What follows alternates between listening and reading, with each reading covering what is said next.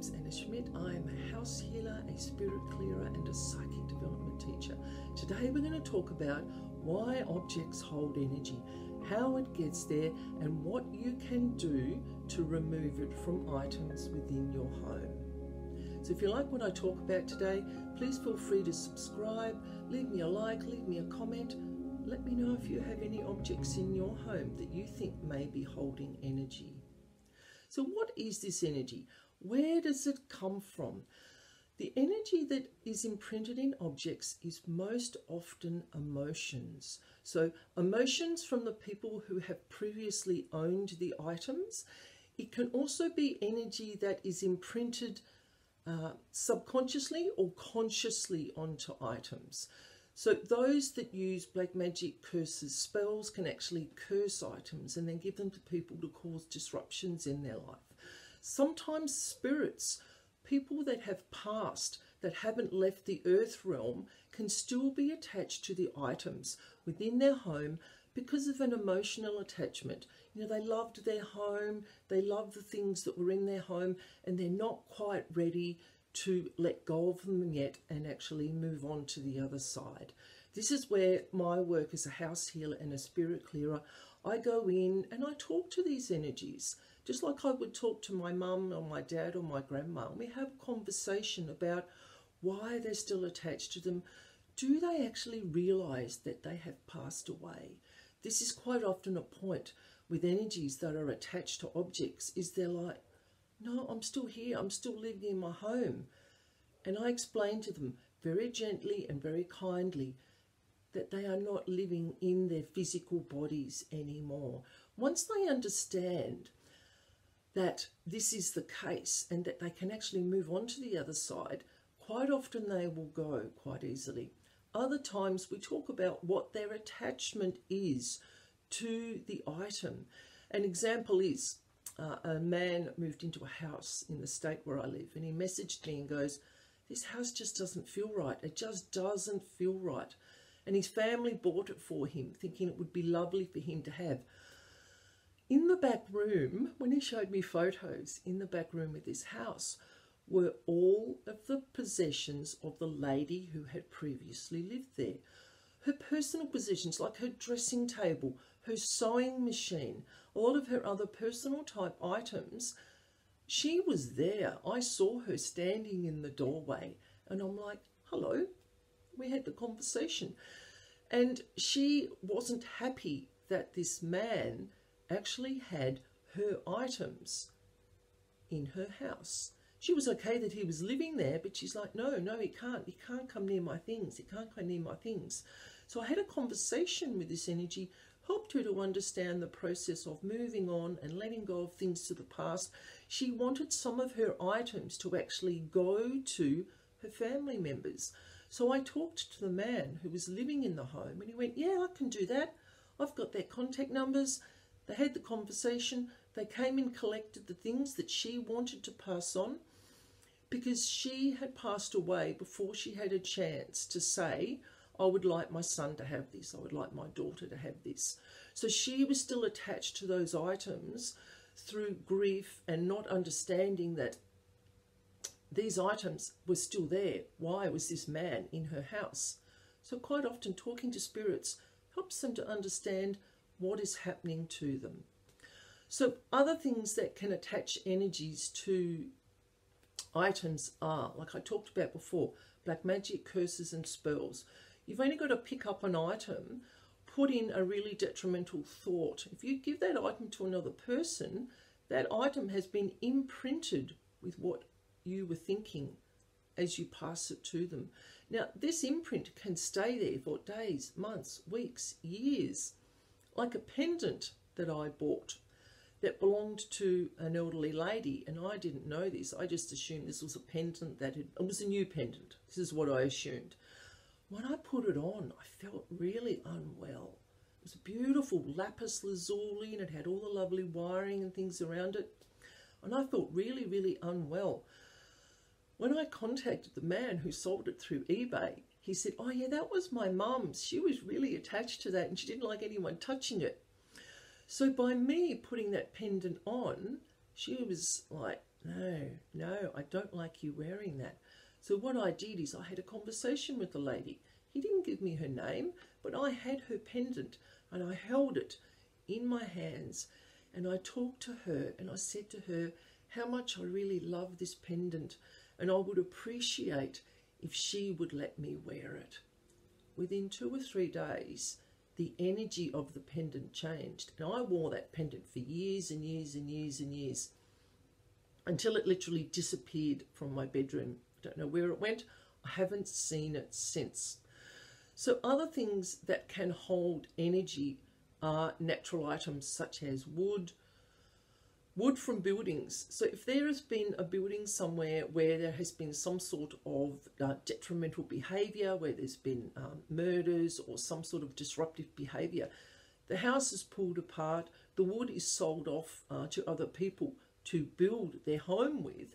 Sometimes the energy can be imprinted. So what has happened in the situations in that home or in that building can transfer in the fabric of the building, in the window frames, in the wood that comes into the house. So you've got a perfectly beautiful piece of land. If you build a, floor out of detrimental wood where something has happened, some sort of trauma has happened, that trauma can come up into the building and change the energy of how your home feels. This is where house healers come in. This is the sort of work we do is we tune in, we can go to the place, or we can do it long distance.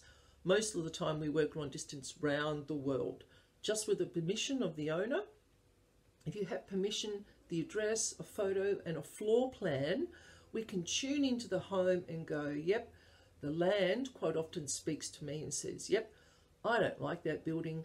There's something not right about it. And it'll actually show me the place within the floor plan where the detrimental energy is. And I will go in, work out what the trauma was, or the emotional attachment, or the spirits that have come with the wood, because sometimes that happens as well.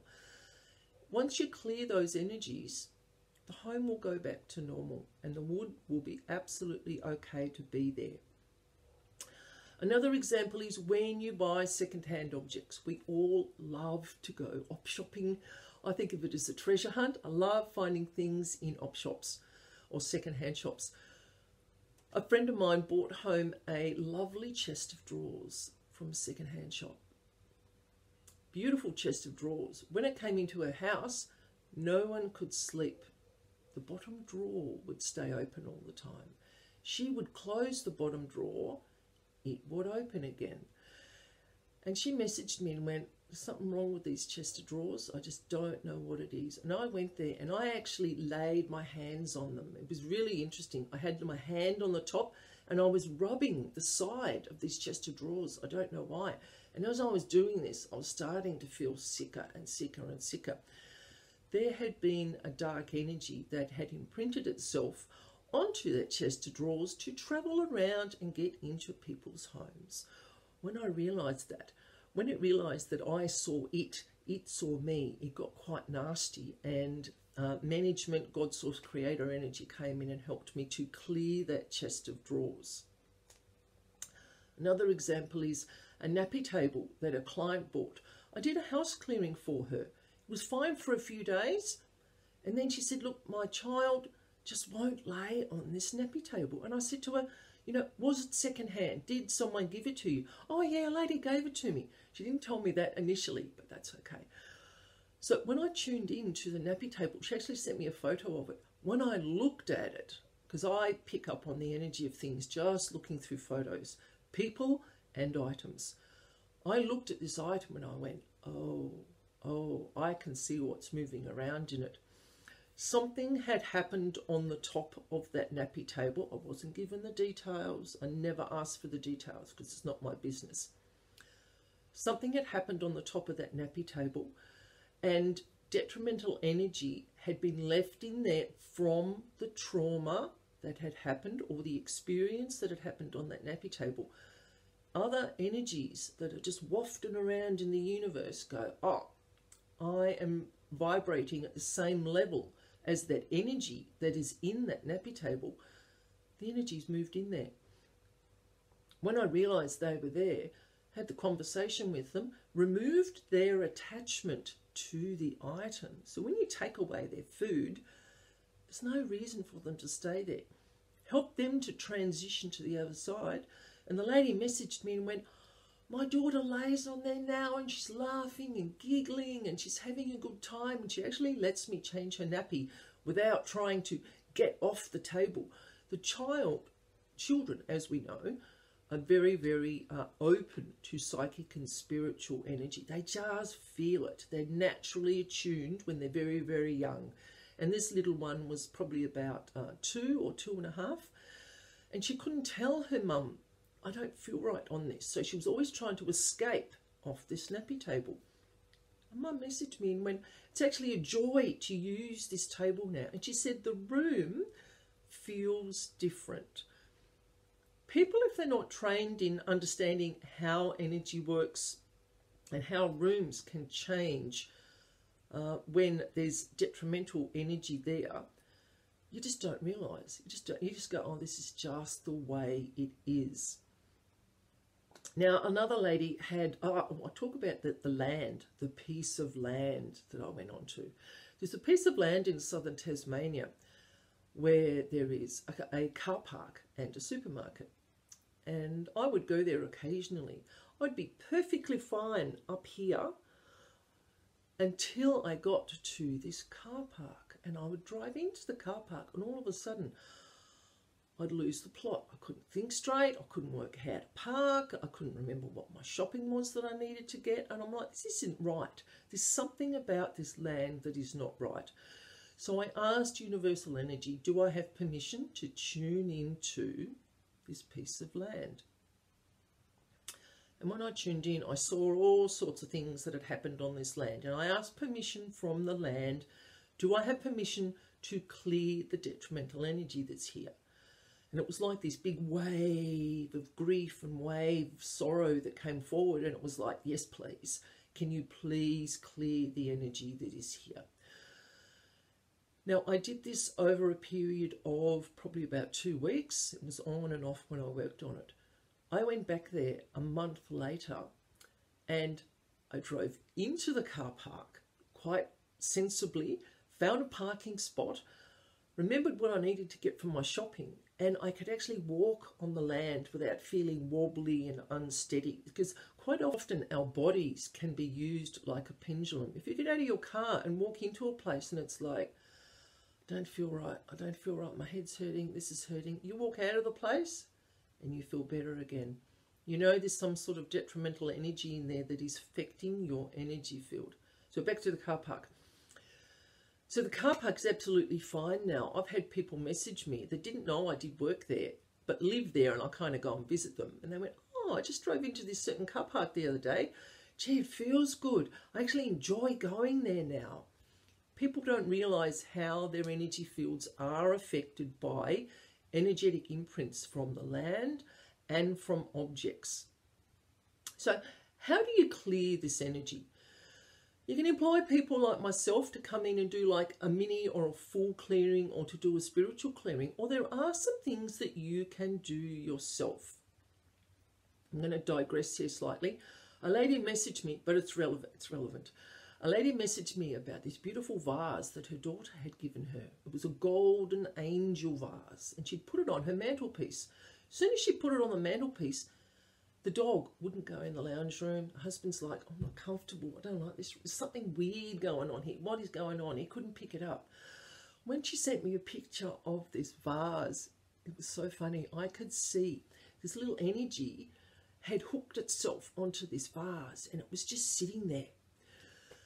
And it was moderately detrimental. It wasn't anything like really, really nasty, but it had upset the energy of the room. The children wouldn't play near the mantelpiece, like they used to have a, a play mat in front of the mantelpiece with Legos and different things. Nah, I wouldn't go in the lounge room. The pets and the children would not go in the lounge room. That is definitely a sign there is something that shouldn't be there. When I looked into this vase, it was so, so funny. I looked and I went, I can see something. And then it looked up at me. It went, ooh, and it shot off the vase and took off running around the house. And I said to her, okay, I know what that is. Please put the vase outside in the sun for a few days and give it a wash and clean it. I'm going to go and deal with this energy that's roaming around your house. And all I did was I had a conversation with it and it knew it was in the wrong.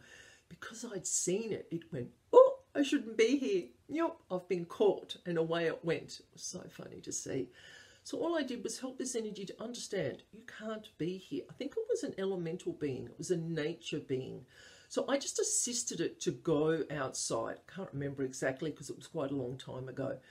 And it was just like, no, no, no, I want to be in here. I'm going, but you can't be here. This isn't the place for you. Can you see how your energy is upsetting the family and it's upsetting the home and it's upsetting the pets? And it kind of went, yeah, I suppose. I suppose I should go back outside. And I said to her, where would you like to go? I said, well, I don't want to go out there. I said, would you like to go to the botanical gardens? Lots of trees, flowers, shrubs, beautiful things that you can tend to. And away it went, quite happily. I just attuned into the botanical gardens here in Hobart. And energetically, I asked that this, this energy was taken to this place. And away it went quite happily. So back to the lady in the vase. So I asked her to take it outside, leave it in the sun for a few days. The sun can quite often clear some levels of detrimental energy. If it's the black magic curses, spells, or heavy, strong emotions, or dark energy, not going to work. Sunlight will work on moderate levels of energy imprints. Also, things like um, smudging sage, Palo Santo, holy water, does not remove heavy emotions or dark energy from items or places. I'm just putting that out there. It just doesn't work. You have to get to the core of what the issue is. You have to find the core, talk to the energies, help them to understand, and then move them on. So if you realize that the energy in a particular room has changed when you have put in a new item, take that item out go and put it in another room. Do a bit of experimenting to see is it actually that item that's causing the problem? If it is, take it outside, put it in the sun, open the windows and the curtains, let the air flow through your home. Talk to God Source Creator energy, talk to your guides, angels, archangels, whichever spiritual belief system you follow, you will have beings and helpers that can help you clear energies from your home. The heavy energies, no, you need people like myself and other energy clearers to actually talk to these energies. You've got to find them first because they're quite often hidden or cloaked in items. Like that little energy that was hiding in the gold vase. So funny when I saw it. So funny, it looked at me. I'll never forget the look on its face. So sometimes you need help from specialists. Other times you can put things out in the sun. Open the energy of the room by opening the windows, the curtains, the blinds. Playing uplifting music can shift some lower level energy imprints. I have used that in homes. Um, singing bowls and like the tingsha bells, because they create a vibration, changes the vibration of the room. Low level energies that'll work on the high level dark energies, it won't. It just won't. They don't do anything. Clearing products such as sage uh, and Palo Santo and incense, they create a smoke which doesn't affect the heavier energies. It just doesn't. I've been in homes where people have said, yeah, I've smudged every single room in the house. And I can see the energy standing in the corner like this. They just go, oh, they really think that's going to get rid of me. No, because some energies are attached to emotions, they're attached to the trauma within the fabric of the building. Often around a bit of sage just isn't going to do it. It just isn't going to clear these energies. So talking to your spiritual helpers is big. Use prayer and the power of intent. I used this with a lady um, who wouldn't have me go to her home because her husband didn't believe in this stuff. So I said to her, right, the fabric of her home had an issue, and I explained to her where it was, what she could do about it, because she wanted to have a play, she wanted to have a part in clearing this energy. She just didn't want me to do it. And that is good because she was actually owning the energy of her home. This is what I was going to work with her on. So she and I worked together with me looking at it from a distance and going, okay, this particular part of the house isn't happy, or a particular thing here that you can work on while I do something else. So I empowered her with intent. She had the intent that she wanted to clear her home of this detrimental energy was there. She was quite frightening. She had pots and pans and she was banging and she was swearing and I actually saw this particular level of energy. It just went, no, I've had enough of this. I'm going. Off it went. So the power of your own personal intent can clear some levels of energy within objects and within the fabric of the building, depending on what type of energy it is.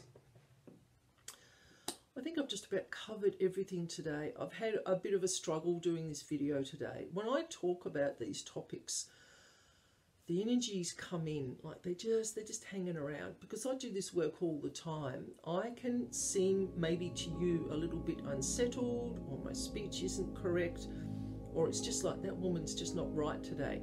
It's because I have a barrage of people and uh, the higher level energies and sometimes the lower level, level energies are present here because they're wanting help to transition. So if you ever watch any of my videos and you're like she's just not on the ball today, or there's just, I can see something in the background, you absolutely can because they're here with me all the time. They're just wanting help. Most of the energies that I deal with, 99% of them, are just wanting to transition to the light, even the dark energies. Even the multiple levels of dark energies, which I'm going to be writing about in a book sometime in 2022 I will hopefully be publishing a book on working with the dark energies. It's a fascinating, fascinating topic. But when you talk about them and work with them, they're in your home and they just mess with the way that my mind works. Okay, so I'm just going to leave you with that little giggle and just go, yeah, yeah, we can see, we can see she's got this stuff going on. All right, if you like what I do, please feel free to subscribe. There'll be lots, lots, lots more videos. I talk about all sorts of spiritual topics psychic topics, when I learn new stuff about house healing or spirituality or psychic development, love sharing it with you so that you can learn too. All right, thank you for coming today, and I'll see you again soon.